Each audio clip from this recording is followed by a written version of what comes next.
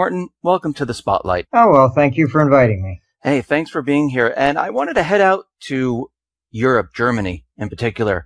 Uh, Commerzbank, they're laying off about 9,000 employees.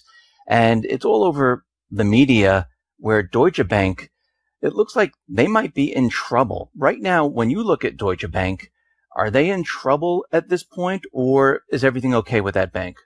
They're in trouble. I mean, all the European banks, the, the difference between those and I would say the United States is that in the U.S., the reserves of a bank are effectively only federal debt. So when they created the euro, the problem was there was no federal central debt. So to be politically correct, they all had to have a piece of everybody else. Um, so essentially, as as Greece goes down, you know, Portugal, Italy, etc., you're talking about undermining the reserves of of the European central, you know, of the central banking system as a whole. So, you know, you have banks that weren't even into derivatives per se in trouble. I mean, like um, in Italy, etc. So, Deutsche Bank was extremely aggressive uh, on the uh, derivative side. They they lost a fair chunk of money on the 2007 crisis, uh, and it's been really a um, a a progressive decline. They've been you know re- trying to reduce as much as possible, but you know Merkel's you know staff came out and said no, there will be no bailout for them. And so, you know, the stock has fallen almost 10% just ever since. So it, it's really in a, a serious crisis here because uh, you have to realize that Deutsche Bank is not only just the biggest bank of Germany, it's effectively the, the Cadillac of Europe. So it, it, it's not looking good. The, the whole European situation is, it, it's just a real disaster. Um, they came to us uh, when they were creating the euro, and I told them flat out right back then. I mean, I've published it. It's, it's you know over the web um, that it would fail. They had. I explained to them that you had to consolidate and create a federal debt. Otherwise, the euro could never compete with the dollar. And they said that they were afraid to do that at the time they just wanted to get the currency through. That if they start talking about consolidating the debt, it would be seen as a bailout for Greece or Portugal, etc. So they left everybody with it, with their own debt, and that's been really the the Achilles heel to the whole thing. They said they would eventually get back to you know to consolidating the debt, but they never did. Merkel said she's not going to bail out, but she did say they're going to do whatever they possibly can to save Deutsche Bank. Do you think they would move to uh, doing bail-ins if this bank goes? Well, that is the situation that is the $64 billion question, if not a trillion dollar one. I mean, that's what she did effectively to uh, everybody else. So what you've had is you've had the bonds going negative over there on 10 years, etc., because capital assumed that if the euro goes, uh, they would rather have German than Greek or Italian or French because they thought if the euro collapses, they'll get Deutschmark. Now the question becomes, does Germany blink? And if honestly, if you're looking at a bail-in, you're looking at really a major crisis because Deutsche Bank's the biggest bank in, in Germany. You're going to destroy the economy. And if she bails, bails it out, then you're going to have everybody bailing out of mm-hmm. the, the bonds, etc., and say, oh my God, you know, maybe I better run to the dollar. So it, it's, it's, you know, it's not a very good situation over there at all because they've never addressed the issues of the faulty design of the euro to begin with. I mean, uh, Deutsche Bank has a very large derivative book. Do you think this would be like a chain reaction where it would affect other banks if this bank goes? Derivative book is about six times the GDP of, of Germany as a whole. But, you know, that's, you know, that's kind of like looking at the extreme side. Mm. What you really have to look at is really the net. And if it's what nets out on their own book is probably okay. It's the cross bank uh, if other banks have used it, but you'll end up in the same thing as like Lehman, and you know they'll start shorting it, um, things of that nature. So uh, I don't think it's as great as some of the people have explained, um, because you really have to look at the net net off their books and between the banks. So yes, it could it could create a, a contagion as we saw, you know, coming out of 07. So you mentioned that the EU um, they're not doing so well. And we know that uh, the ECB, they've been, there were negative interest rates. They've been buying corporate bonds. I think they're looking to buy equities. What else can they do? I mean, none of this has really helped, has it? Has it really helped the European Union? Zero. I mean, this quantitative easing that everyone assumed, oh, you know, if the Fed did it, oh, this is going to be hyperinflation, etc you know, it's it's just false dreams because how do you get inflation? Inflation comes if the if the money's in the hands of the consumer. Mm-hmm. You know, fine, you bailed out the banks, but then look at what the banks did. They went to the Fed and they said, "Gee, you know, uh, we don't have anything to buy. You should pay us interest directly." Then they created excess reserves. You know, so you you know, okay, fine, everybody, all the Fed, you know, monetized Okay, but they have almost $3 trillion sitting there in excess reserves. So the money was never put into the system. If the banks had lent it to people, actually done something for the economy, that's one thing, but they didn't. You know, they, they have hoarded money themselves. And, um, so everything the Fed did really hasn't been a robust recovery. This is one of the shallowest recoveries ever since. And it's, it's largely because of what the Fed did and what these central banks are doing. I wanted to move here to the United States. You wrote an article about a pension crisis and many people are out there talking about there's a problem with pensions. They're underfunded. When you say there's a pension crisis, what do you actually mean? Most of your crisis is predominantly in the public sector, mm-hmm. you have um, you have several states that have been lobbying. Um, for example, California, Illinois, uh, New York, and Texas were the leaders in behind the curtain lobbying uh, effectively that they that what they want to do is seize all the private pensions, and then the state would manage that because they're broke on the on the public side. So it's it's always this Ponzi scheme. Um, Obamacare. What was the real design of Obamacare?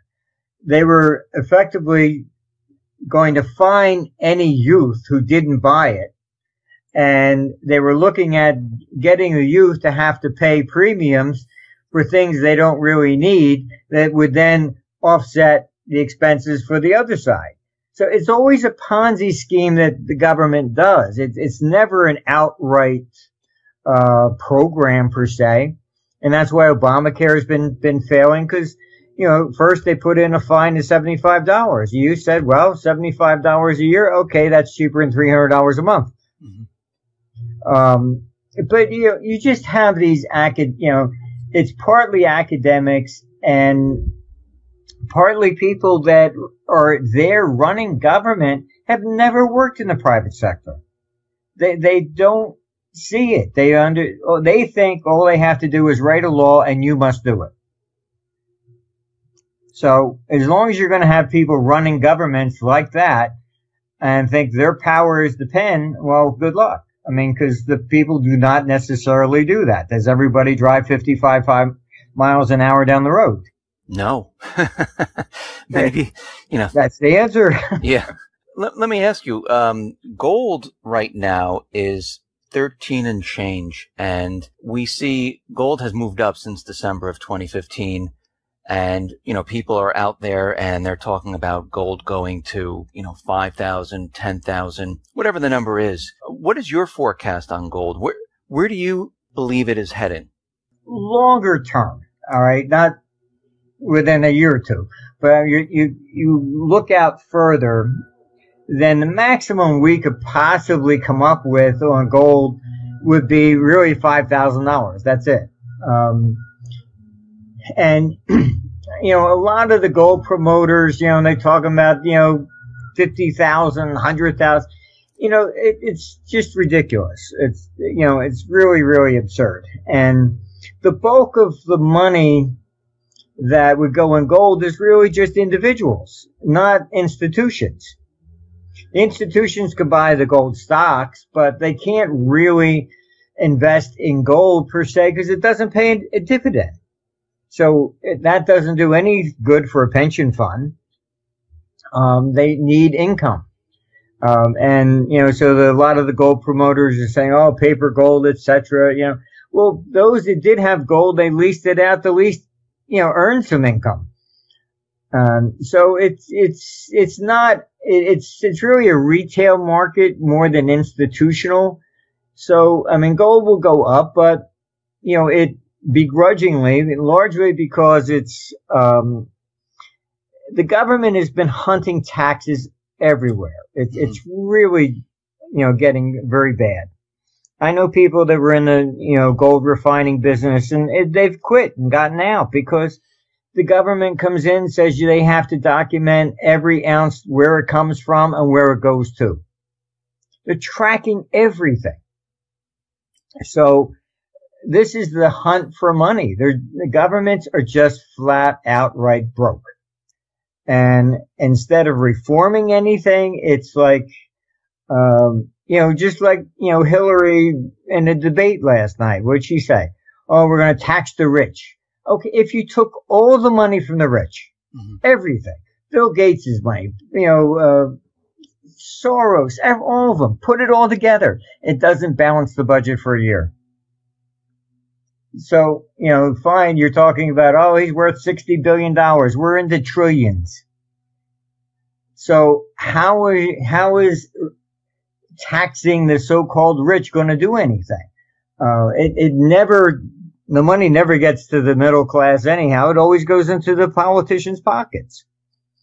And, uh, it's, it's just never going to work. So, um, unfortunately, this, this is, the price of government. It's why Europe isn't recovering. You, you have a situation there where fine, they monetize, but then they keep raising taxes. You know, if, if I say, well, I'll lend you money at 1%, if you can't at least make 2%, you're not going to borrow and pay one. It's, it's the difference between the two. It's not the empirical level of interest rates that matter.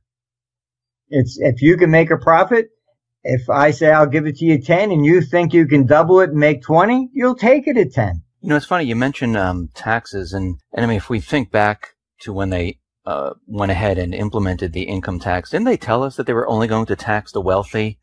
And oh, that yeah. tax went to the middle class, then it went to the poor. So that wealth tax most likely will end up hitting the middle class then the lower middle class and then everyone will be taxed once again. Um, well, I'll tell you, I was in Australia. They passed the luxury tax. Mm-hmm. They pitched it as great saying that was, they were going to tax the Ferraris, the fur coats, and the French wine. And everybody cheered, yeah, go get the rich. they passed it. What was in it? All electrical products. so, I mean, you went to go buy a TV, suddenly you paid a luxury tax. You bought a clock radio, luxury tax. I mean, they always lie.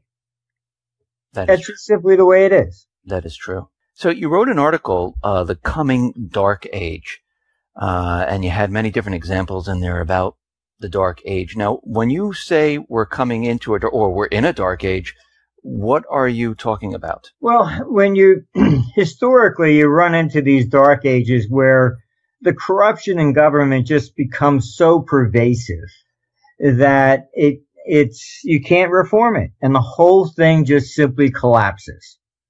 Um, the example I gave, for example, you know, like on Japan, mm-hmm. each emperor came in, and what he did, he devalued the outstanding money supply to a tenth of his new coins. I mean, the coins were always just iron or bronze, so you weren't talking about you know, a precious metal, you know, content to it. And so what happens is that eventually the Japanese realize, hey, the emperor dies, I lose 90% of whatever my savings are. So they started not accepting the coins of, of their own country. Chinese coins circulated and bags of rice. And eventually what happened was the Japanese government lost the right to even issue coins for 600 years. Um, you, when the fall of Rome happens, uh, you know, it, it took effectively 600 years before you start seeing gold coinage come back. That wasn't until the mid 1200s. So you, you go to a point in time, you know, what was, you know, the feudal system? Why, why did that happen? Because the central government collapses and then everybody just locally, you know, create their own little economies to survive. So, uh, you, this is historically, it's pervasive. It's happened in every economy in Greece. You have the heroic period uh, with Agamemnon and Troy and all that. And then you go into a dark age. Then you come back to the period of the Hellenistic period under Alexander the Great. So you have these periods where the danger is, is that it just becomes so pervasive and corrupt that the system completely collapses and then you don't go back. Uh, you disperse. Uh, the term we have suburbia is Latin. It meant that they moved out of the cities and dispersed. So Rome, for example, um, in 180 AD was the first biggest city in the world, had a population of 1 million. That fell to 10,000. Uh, people just walk away from their properties because they were taxing things dramatically to the point you just said, fine, it's yours, goodbye, you know. Um, and they leave. And this is what creates a dark age. You lose the central power, the central control, and people then migrate out and it'd be like the United States, all 50 states breaking up. So do you think what we're, we're entering a dark age or, or are we in one? No, there's a risk of this happening by probably 2032 on the other side of that. And it's it's just that the system has become so corrupt. Why did the founding fathers say no direct taxation, no income tax whatsoever? We had none until 1913. Hmm. All right, it's because you know it's a difference between liberty, you know, and basically just being an economic slave. Everything you do, everything you earn all right, you have to report to the government. You cannot legally mail more than $25 um, in the United States. Oh, that's cash that you, you can't put cash in a safety deposit box. Read the, the fine, you know, the fine print. That's money laundering. You're hiding money from the government. And, uh, it's, they have to know everything you do. If you found ten dollars on the ground, where'd you get it from? Um, my sister bought a house, and uh, on the mortgage, she had to go through every check that she ever deposited in her account, going back like seven years. And my mother had given her some checks to buy, you know, to pay reimburse her for medicine or whatever. Every single check had to be explained. What was this for? What was that for? it, it's getting to be really abusive and, um, uh, you know, it's everywhere. If you're leaving Italy and it looks like you have too much, you know, gold jewelry on, they take you off to the side and weigh it. Um, I was in Brussels and meetings with the government there. And I hopped on the, the train to run over for a meeting in London. I was pretty much the only guy in a uh, suit and tie. Everybody else was in jeans and sneaks. I just was running over to get to a hotel so I could get changed. I'm the one pulled over by the customs in, in London. I looked at him. I said, what? He says, yeah, you come here. I said, what's the, you know, I said, he says, uh, where'd you buy your ticket? I said, I bought my ticket in Brussels. I said, I'm American. All right. I had to show where I bought the ticket because he was cons- he was looking. Did I really live in London as an American and was coming back and maybe with money? It's just nuts. You take a, a train from Zurich to Luxembourg. It goes through France. They stop the train and the French have police. They come through looking through everybody's bags, looking for money. They confiscated you know, $10 million worth of bonds from an Italian who was on a train trying to go to Switzerland. You can't have money anymore. If it's, if it's not declared, must be illegal somehow and they're entitled to it. They don't have to prove anything anymore. Uh, do you think this is happening because the system is breaking down and they're trying to get as much as they possibly can. I mean, the United States has uh, FATCA, they have GATCA, and in, in the beginning of our uh, of us talking, you mentioned that they're trying to bring in more and more revenue. Um, they're taxing everything.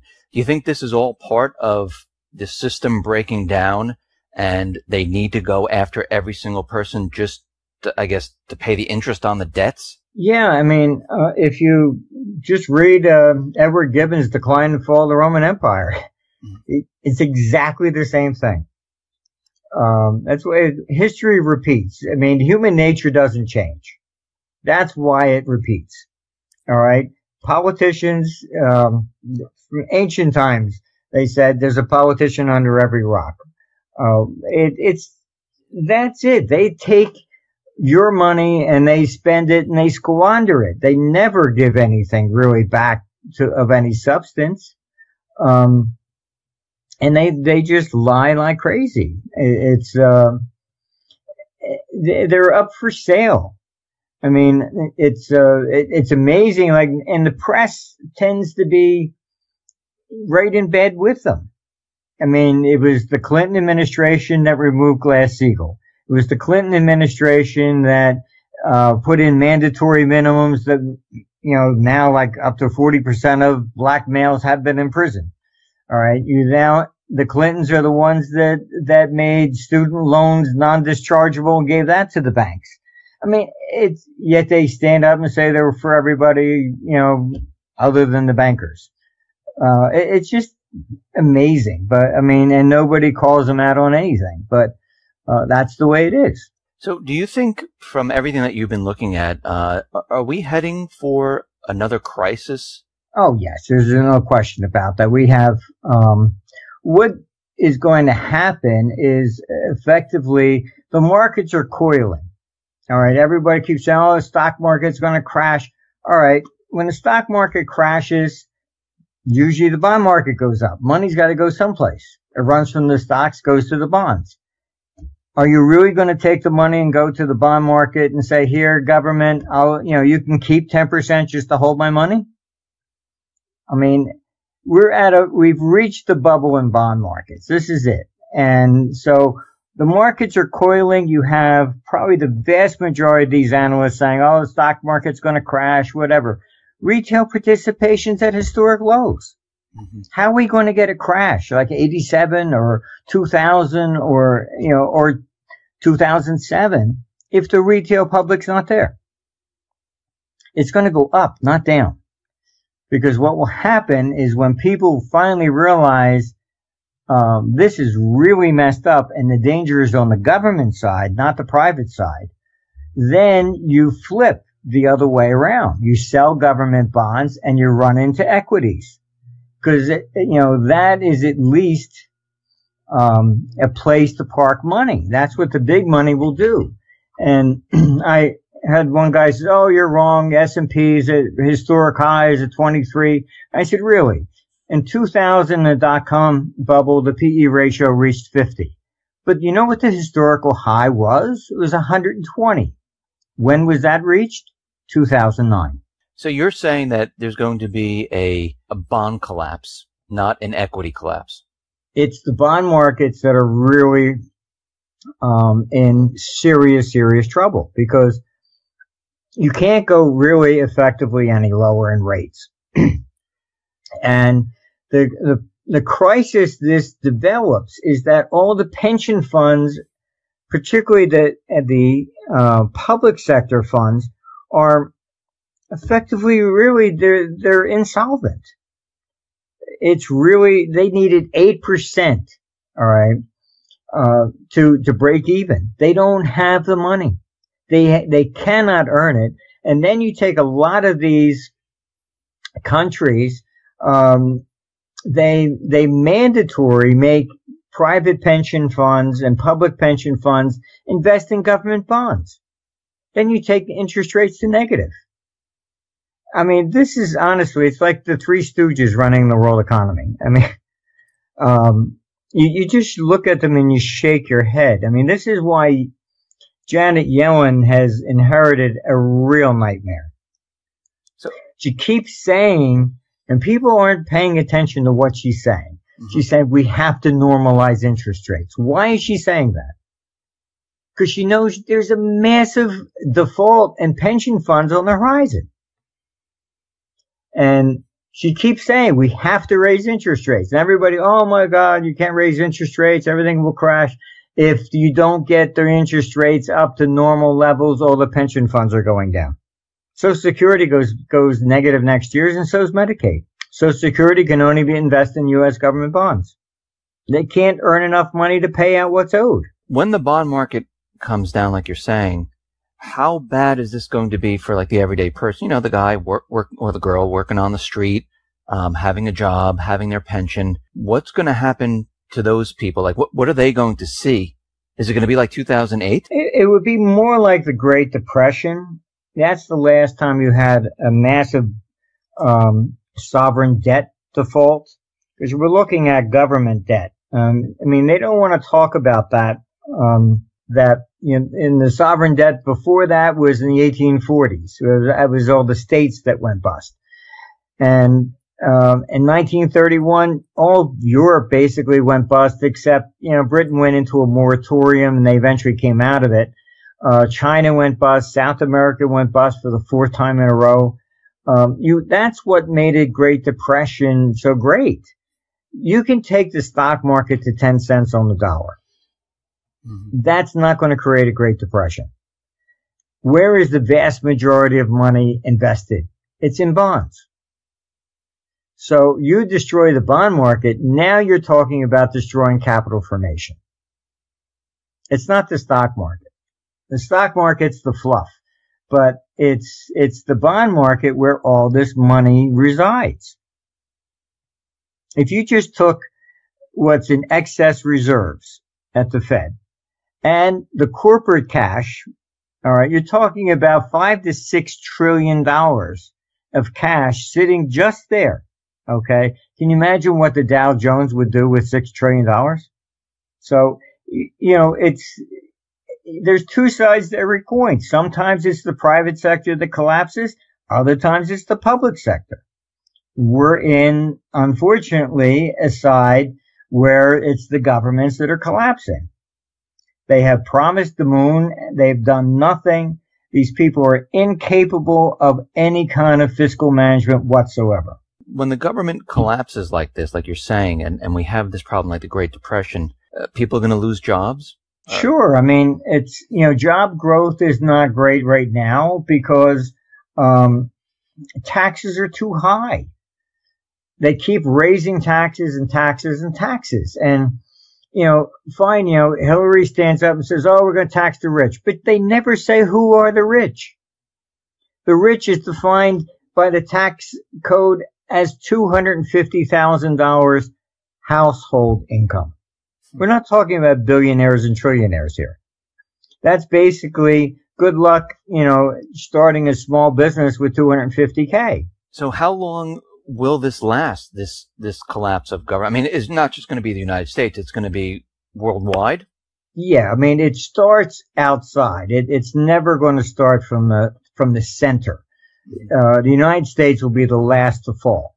This is why the dollar has been uh, so strong. It's why the central banks lately, China, etc., they've been selling U.S. government bonds at the request of the Fed, trying to keep the dollar down, but it doesn't, it doesn't stay down because you have all the Chinese rushing to get out of there. They, they don't trust their government. So they've taken over practically the West Coast, even, you know, from Vancouver. They've been one of the biggest buyers, highest ticket buyers in real estate in the United States. in Europe, you have the same, you know, crisis over there. It's, it's just not, you know, feasible. So the dollar is the only reservoir left. And I can tell you, um, I mean, as you know, I do consulting with a lot of governments. So I, I see the, I understand what's going on behind the curtain. I'm there. And I can tell you that there is a lot of people now talking in Washington that the dollar should not be the reserve currency. That they realize that what's happening here is that the Federal Reserve can't raise interest rates so easily because they have the IMF and everybody else saying, oh, please don't do that. You're going to bankrupt everybody else outside the United States. So the Fed has become the central bank of the world by default. So how do you get the, your power back to manage your own economy? The only way to do that is, is to get rid of the dollar as reserve currency. But, um, that's not an easy task. It can't be simply declared, all right, you can't use your U.S. dollar as reserve currency. It, you, you, just, that's it. I mean, you can't stand up and de- declare it. The IMF, um, has been trying to sell the idea of, of the SDR, but, uh, that's not a currency. It's, it's basically a basket of currencies. I mean, you've had these people saying, oh, well, you know, China is going to become part of the uh, SDR on October 1st. The dollar is going to crash. The SDR is a basket of currencies. It's not an independent thing. So part of the S of the SDR, the vast majority of it is the dollar. So um, you got the British pound in the SDR. I mean, these things and the euros in there. They said the same thing with the euro. That didn't have any effect. Um, it's a place where you're going to park money. That's what a reserve currency is. Can all the pension funds honestly stand up and say, yeah, okay, fine. We're going to buy Jap, you know, Chinese government debt? No. If you, you're not at that level of, of trust yet and their court systems, etc. Can you really defend your money? We're not there yet. Eventually we'll get there, but that's, you're talking about a couple more decades. When the dollar is no longer the reserve currency, what happens here in the United States? Um, I mean, what I argue for is that it shouldn't be the IMF because the IMF is just a, a, corrupt organization that has been bought and paid for many times over. Mm-hmm. And um, I think a brand new agency should should be started.